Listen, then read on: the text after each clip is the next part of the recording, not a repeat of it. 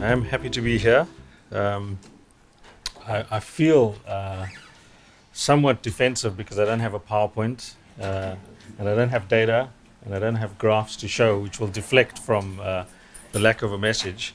But I'll, I'll give it a go. Um, I I thought I would use this opportunity to to, um, and I think as uh, the chair reflected that we were asked to talk about specific um, experiences with uh, multidisciplinarity. And what I will do is give you a very specific case study of uh, work that I have done, and it's completed now. But the evolution of that work from, if you like, um, a, a, a, an area of study, and it's in the area of labor regulation. Uh, and thinking about labor markets uh, and rigidity and flexibility of labor markets, and I'll come back to that. It's a deliberate use of the phrase, uh, and how the work that we did over a period of about three years evolved from being, I think, fairly technical and narrow, uh, using the toolbox of economists, to one that I think became far more uh, multidisciplinary in nature and, and in, in orientation. But perhaps before I do that, just to give you a short story about why um, ensuring that you draw on information and sources of information from uh, a diverse set of uh, experiences and a div diverse set of skills uh, um, is can have tangible consequences. And it's in funny enough, it's in the area of uh, funeral insurance. Um, in South Africa, uh, uh, the bottom end of the income distribution, uh, insurance companies make their money off you and I on short-term insurance, but they also make their money off uh, selling funeral insurance, in particular in South Africa. And one of the uh, larger companies in South Africa that sells funeral insurance then took this model, which is a model based on marketing funeral insurance, sending out the insurance providers, the sales reps, and so on to townships and uh, and selling funeral insurance. They took that model and they they tried it in Kenya, and it failed dismally. And the reason was that they didn't. Firstly, they they they they did, they did the investment numbers, so they relied on actuarial research to inform you know price points and you know amortization rates and so on, and so they came up with products and so on. But of course, nobody ever spoke to a sociologist or an anthropologist. And if they did, they would have known that the attitudes towards death are fundamentally different in South Africa relative to Kenya. In South Africa, we speak about death. The joke is your grandmom or granddad will say, make sure there's chicken at my funeral. You know, I don't want the neighbors to think that I, I don't have decent food at my funeral. But in Kenya, you don't talk about death. Death is, is something that is a, a taboo subject in West Africa, it's it's uh, it's less taboo. So in that sense, if they had, if the insurance company had actually done their done their job and actually spoke to people across a variety of disciplines, not just actuaries, they would have come to a very different conclusion. But anyway, I think that's a, a really fun example of, of how uh, multidisciplinarity can have real consequences.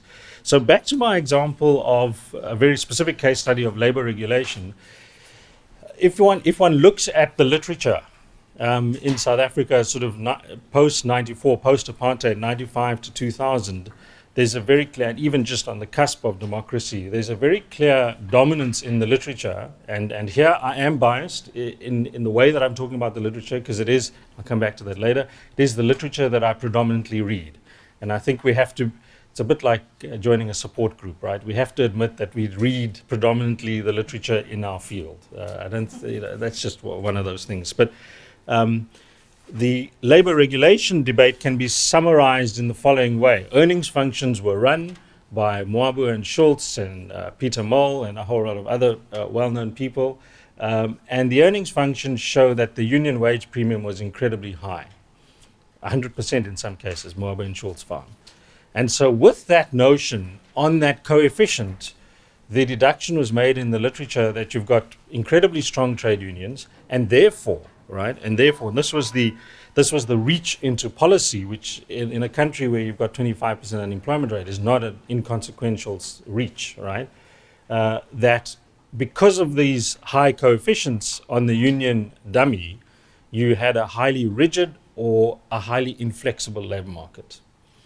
And this debate raged on for at least five to ten years, I think. Um, Uh, we even had Anne Krueger, uh, who was chief economist, I think, for the IMF at the time, listening to these presentations, and then her conclu- conclusion was, well, clearly unemployment exists in South Africa because unions are too strong and because wages are too high bec- because of strong unions. And that was that was the end of the debate for her, right? So that's where, if you like, economic imperialism in terms of the research left us with, uh, it, if we look back now, fundamentally unsatisfying results, fundamentally narrow view of the world. So, and I was was I was going through this uh, uh, last night and thinking about well, how did how did we go to the next step? Well, it was a light bulb moment, right, that I had together with a uh, labor lawyer, and the light bulb moment went as follows: when I um, the labor lawyer is very well known, at least to um, to South Africans in the audience. Uh, he was one of the architects of our constitution, the, you know, the globally famous constitution that we have, um, uh, Halton Cheadle. And, and I was sitting across the table from Halton and I was regaling the story of where the research is in terms of rigidity and flexibility. And he said, Well, firstly, I don't understand these terms of rigidity and flexibility. They seem very rhetorical, right? Um, so that was that was a whole separate discussion. But he said to me, "What do you mean unions are too powerful? I don't understand that." He said, "Do you know that enshrined in our constitution is the right to collective action? So how, wh- wh- if you if you believe that there's a right to collective action, and most co- most democratic countries have that, there's a right to collective action. Therefore." How do you interpret, as a lawyer, he says to me, the fact that unions are too powerful? He just didn't understand that. And of course, he then went on to, to explain to me, little of which I understood, why the different pieces of the legislation in the Labor Relations Act that we had and in the Constitution um, meant that we had a far less rigid, in my view, or inflexible labor market, right, that the coefficient on the union dummy would suggest. And so out of that conversation, in fact, began a two year journey with uh, uh, two other, Halton himself and then the second labor lawyer, in which we tried, right? I'm not sure if we succeeded, but we tried really hard to bring the notions of the economics of trade union power and so on together with how one measures or how one understands labor regulation from a legal context. So, what this project then eventually delivered, if you like, was the attempt to recalibrate our understanding of labor market regulation to move it away from, firstly, this notion that you can take a coefficient or a set of coefficients and assume that that describes rigidity or flexibility in the labor market. Now, um, sorry, I'm just watching the time. I don't want to. Um, we were helped tremendously, right? In a, again, in, in the labor regulatory uh, uh, field, but I think it's true for other fields. We were helped tremendously by the release almost at the same time of the Doing Business survey um, uh, published by the World Bank. And so the World Bank's doing business survey, as you know, you know, uh, uh, estimates or, or, collects information from different countries on a variety of uh, the ease of doing business indicators. So the time it takes to get uh, uh, a firm registered, the time it takes for customs to release your um, commodities that you've tried to import into the country, and so on. But included in the first few, and they've removed it, which I don't understand. So if anybody can explain that to me, um, it'd be wonderful. The World Bank officially can't explain why they've removed it, but in the indicators they had a labor market module. And the labor market module was not anything to do with the union wage premium, but it was to do with the legislative environment within the country. So what they did was to go into a country, go to a literally a, a law firm, and ask the legal firm to explain the hiring clauses, the firing clauses, the um, uh, cost of uh, uh, the cost of retrenchments, and so on, that the legislation specified. So immediately we, we open up our, our debate and our understanding of labor regulation away from an earnings function towards uh, the regulatory environment. And why this conversation became good or became productive was that I was able to sit with the lawyers and say, well, do you agree with these pieces of the legislation that the Doing Business Survey is collecting information on? They would say yes. And of course, what the Doing Business Survey does, most of you have probably used it, is it starts doing what economists like, which is to measure and rank things. So we were able to then look at rankings. So if, for example, just uh, uh, if you were retrenched, the law may say that the, your retrenchment package would be the equivalent of one week worth of uh, uh, wages for every year that you worked. But some pieces of legislation in different countries will say, well, you'll get a year's worth of wages uh, for every year that you've worked. And, and so you were able to then generate these rankings. Out of that, what, what we, uh, out of the sort of um, um, the doing business survey, we were able to then produce a far more nuanced assessment of South Africa's uh, labor regulatory environment. So the, the, the, the, closing off of that research was to show that we actually were, in terms of the labor regulatory environment and the legislation, smack bang in the middle of other middle income country uh, um, uh, estimates. So we look like Brazil, we look like Malaysia in terms of our labor regulatory environment. Really, for a country context, fundamentally important in opening up the debate, I think in making people think, well, actually, it's not the legislation. But it went further then. We then we then had to deal with the problem that when you spoke to whether it's the World Economic Forum and so on, when you spoke to business leaders, the perception surveys from business leaders was no. The problem with South Africa in terms of FDI or domestic investment is that uh, labor markets are, uh, are or labor laws are too strict. But yet our research showed, based on the Doing Business survey, that it wasn't that strict. That's where the lawyers became useful. They said the legislation is not a sufficient, right? It's a necessary, this is uh, the economists speak, but it's necessary but not sufficient condition for establishing uh, over regulation or under regulation. So you see how the language I've used also changed. Uh, rigidity and flexibility is a problematic language. Um, and so what we found was that it was when the judges interpreted the law, right? You had a very particular interpretation in South Africa that the lawyers agreed was infused with the notion that if you if you had to interpret the law which said what uh, an unfair dismissal, that's a subjective notion, unfair dismissal. Training of the judges, particularly in labor law, meant that most of them saw this as the bad employer, the evil capitalist, and I'm overstating it, and the poor worker.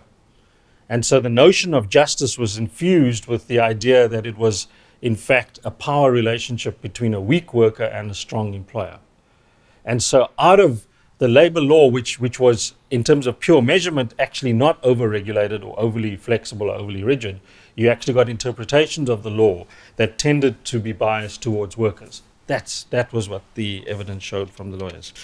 So, in a sense, for me, um, just to conclude with some lessons, um, the, the, the, the, uh, the case of doing work on uh, labor regulation in South Africa, we've sort of continued with it, uh, uh, but I don't think we've spent enough time actually talking to audiences about, about why one needs to think about bringing economics and law together. But for me, at least personally, and I think for my colleagues in law, it was a really, really useful and fruitful experience. So, just five generic lessons, maybe. Um, they won't be the only lessons, of course, and they may be the wrong ones, but for me, the five that were really important. The first is language does matter. I mean, it, it, it was astounding to me how I think uh, um, uh, I think economists are far too blunt. Economists don't understand the importance. So when you know when I went wading in about rigidity and flexibility, I mean, we spent the first half an hour talking about those terms. What do you mean by rigid and flexible? So I think that's a really really important lesson, at least in in this particular context, um, and and the, the notion of union power. What do you mean by union power? For a lawyer, union power is a good thing because it refle- reflects democratic rights. That's what you want, right? So uh, the second lesson is read the complementary literature, not just in economics. So, and, and, I'm Exhibit A, right? And I think all of us, as I said at the beginning, uh, would admit to reading the literature that we're most familiar with, and that literature is the literature we uh, we took as grad students or the course that we ended up taking. So, but but it is important to to read uh, in the in in an area that's outside of your silo. I must. There's a warning label with that. I mean, the law stuff is impossible to understand for me. It's just, you know. So I spend hours trying to understand it, but it's incredibly difficult. So. Uh, so that's why collegial interaction is important. So if you work with colleagues uh, in the field, um, it, it actually, and that's my third lesson, if you like, it it um, retains a certain balance of power. This may be a bit controversial, right? So I think it is important to be able to interact with colleagues where you have far less knowledge with uh, than them in that particular area. Health and economics is a really good example, right? Law and economics, uh, and so that sort of evenness in the balance of power is important. Final two lessons is I do think, and I think uh, Rachel alluded to it at the beginning, is I think there are limits to collaboration across disciplines. I don't think, you know, uh, we don't have to be cheerleaders all the time. I think we have to accept that in certain contexts, there's there's a value add to collaboration, but in other contexts, um, I can teach physicists very little about the laws of gravity, right? So there's no need to collaborate. Um, um, and and then the final thing is, I think, speaking as economists, I think we we we we tend to be too uh, too focused on measurement, and uh, uh, well, let me restate that. I think measurement is good and it's important, but it's not the only thing. And we tend to lose interest in stories that are told. Sto- really interesting contextual stories, uh, economic history stories, uh, cultural stories that are told about the experiences of uh, of individuals and households and their and their livelihoods. And I think that's a really important lesson for economists. Okay, let me stop there. Thanks.